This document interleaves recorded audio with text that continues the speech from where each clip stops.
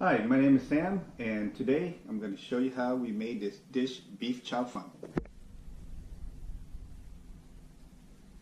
Now, if you like what we made, please subscribe, share this video, and like the video.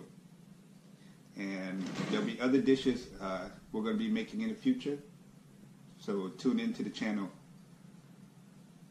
Okay, so what we want to do with the green onions, we want to cut it into about two inch long strips like so. And we'll put that inside a bowl for now. And then the harder thicker part we're gonna go ahead and slice it so that it gets thinner and it'll cook a little bit faster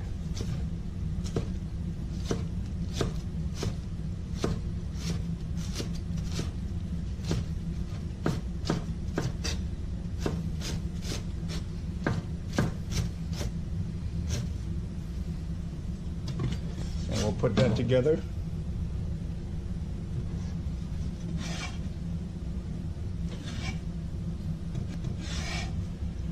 Okay. Now, also in this dish, we're gonna need about two to three cloves of garlic. And what you wanna do is you wanna crush it gently so it doesn't splatter everywhere. And then go ahead and chop it up.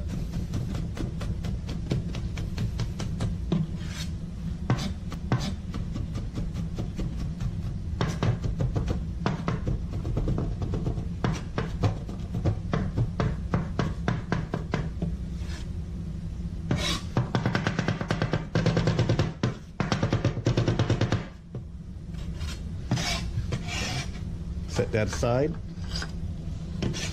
And you also want to use some fresh ginger. I've already peeled the ginger and now I'm just going to slice it. Now, most people, they like to mince it like I did the garlic, but I like to have it in long strips. To me, it, has a lot more flavor.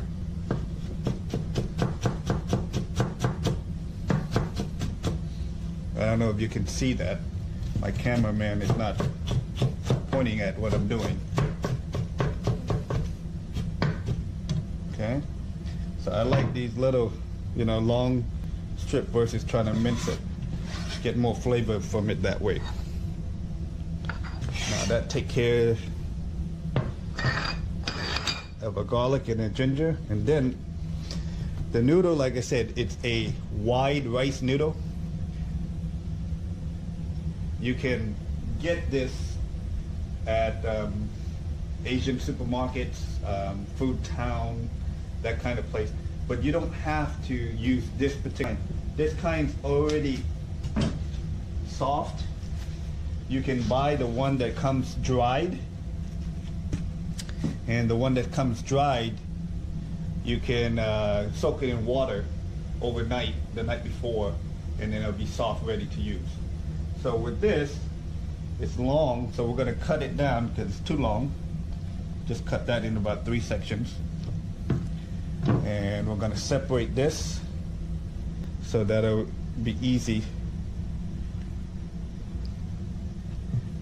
to mix all the flavor into it. Otherwise it'll be like one giant clump. Okay, so now as we stated, this is going to be a beef chow fun dish. So obviously we're going to use beef to make uh, the dish. Now you can actually use any kind of protein you want. You can use shrimp, pork, chicken, it doesn't matter. It's all the same way. But uh, I like to use beef in this dish and I'm going to show you how we prepare the meat and we marinate it before we cook it. So you just, I like to cut it into little strips.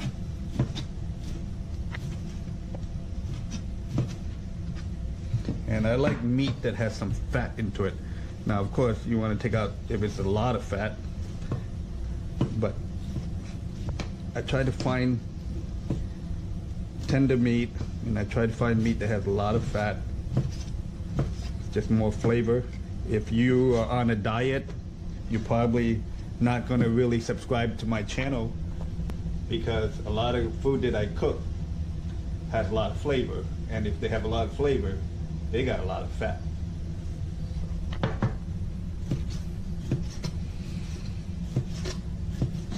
Those of you who don't know me, about 20 years ago, I had a, an Asian restaurant, Japanese, Thai, sushi bar, and um, stopped doing that about 20 years ago.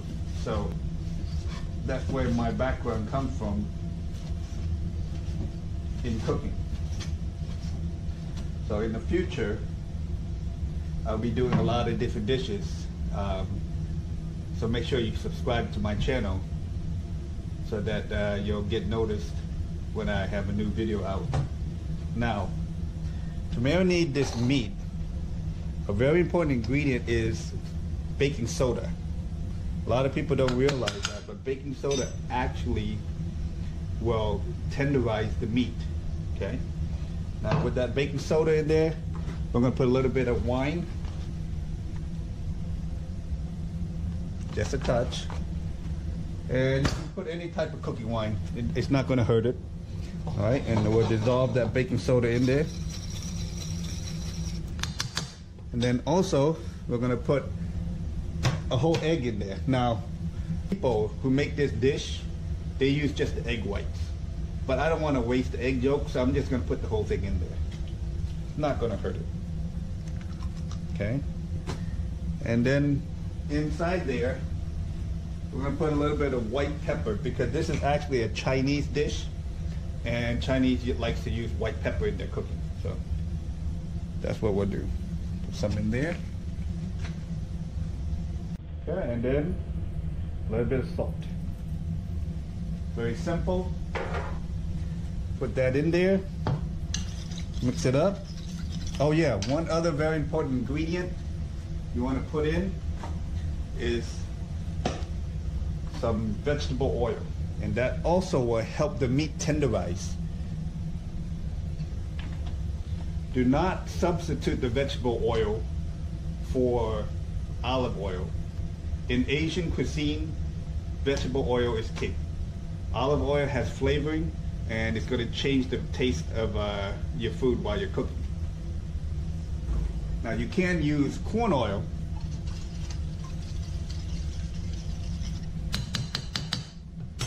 Okay. Put all that in there. Mix it around really good so that it get covered very well.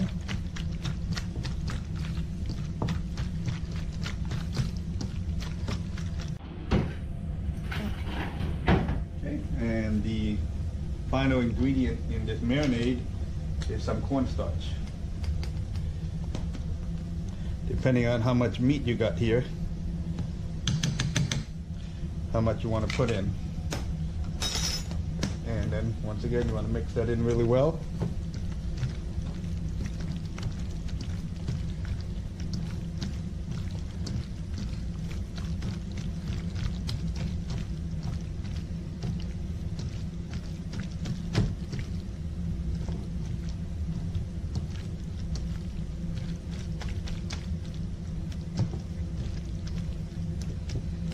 Maybe a hair more.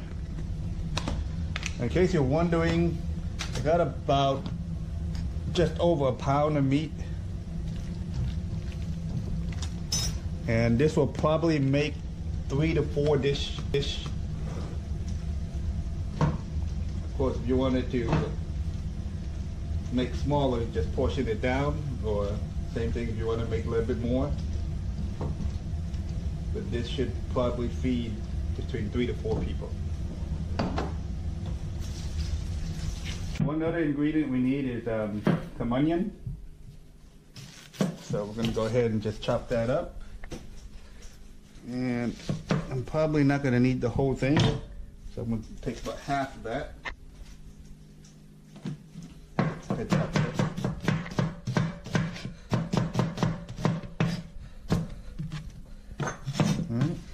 Get that in there. Alright, so now we're gonna start cooking.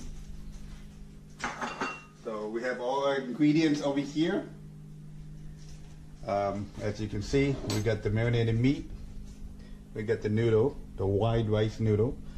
We got some onions, some bean sprout, and uh, the green onion. We got some garlic and ginger. And for the sauce, we're gonna use some oyster sauce, some thin soy sauce. If you don't have thin soy sauce, regular soy sauce will do. And uh, some salt, white pepper, a little bit of sugar, and some sesame oil and cooking wine. So first thing we want to do is get the wok as hot as we can get it. If you don't have a wok, you obviously can cook out of a pan. So we want the wok very hot. Put a good amount of oil in there. Okay? And of course you want to everything so that nothing sticks. Now you want to wait till smoke starts coming out of the wok. That's kind of important because that will cook the meat really fast and it'll sear the juice inside the meat. Okay, as you can see, the smoke start coming out of the wok. That means it's hot enough. We can start putting it, putting it in and just be careful not to splash yourself.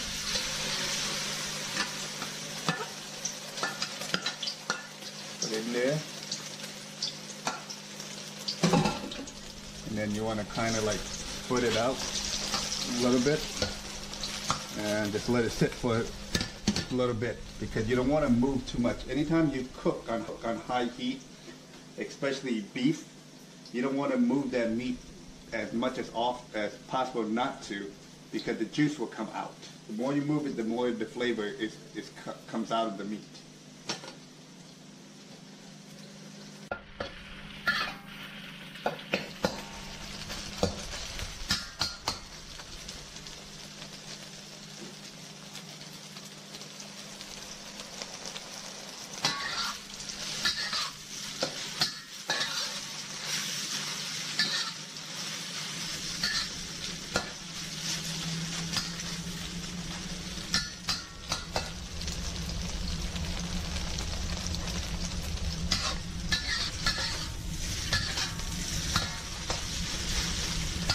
You don't need to cook the meat 100% because it'll be too dry. Three quarter of the way is good enough because it's going to cook continue when you add the other ingredients. So now what you want to do is remove the meat and put it into some kind of strainer so that you can remove all that extra oil.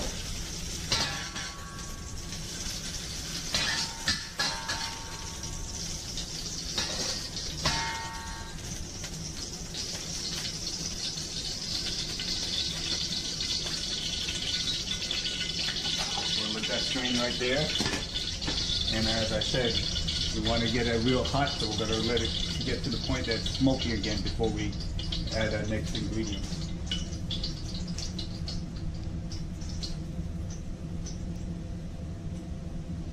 Now we're going to need to add just a hair more oil because the um, the noodle will get sticky in there if you don't have enough oil. Okay. You can see smoke starting to come back out. So now we're going to add our garlic and our ginger. Mix that around a little bit.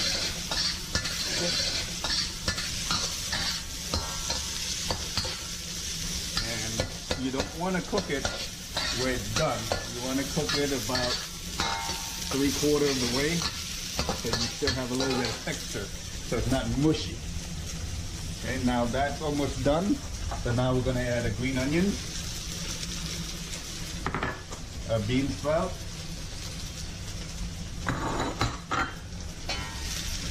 Give that a really quick mix because we want the oil to coat everything.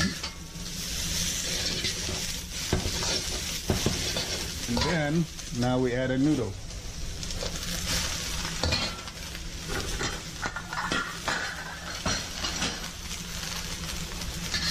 Once you add your noodle, you got to start adding your ingredients. So I'm to put in oyster sauce. I'm gonna put in dark soy sauce.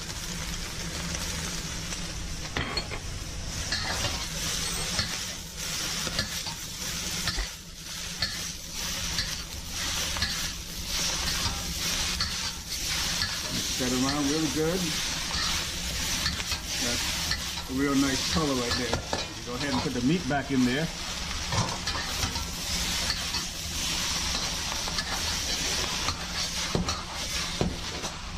Okay. Now we're gonna add some white pepper, a little bit of salt, a little bit of sugar, and the cooking wine.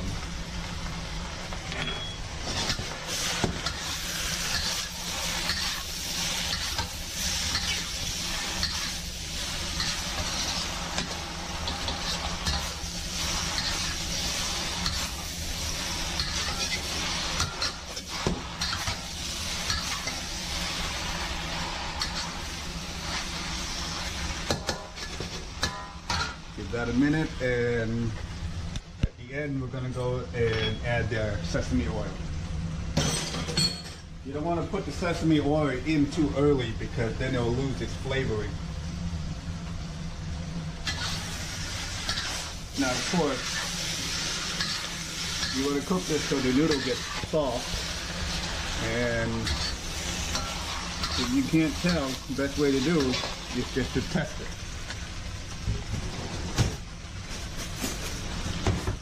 take a fork, go ahead and cut it, go ahead and taste the flavor.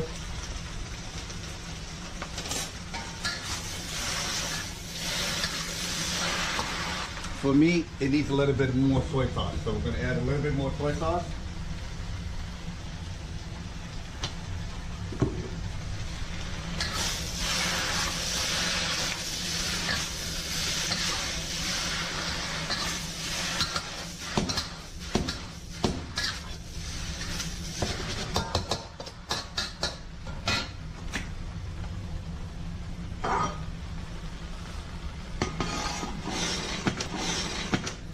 and just a touch of sesame oil to finish it off. Mix it in there.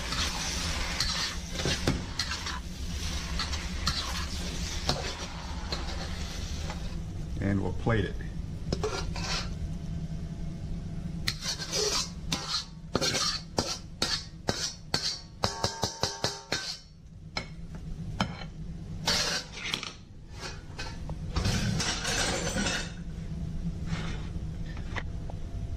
So there you go. That's beef chow fun.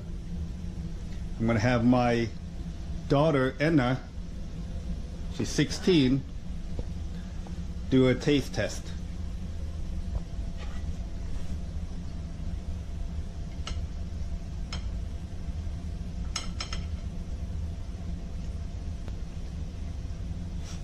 It's good. There you go. If teenagers like it, then you know it's pretty good. So if you like this video, please subscribe, share the video, give it a thumb up,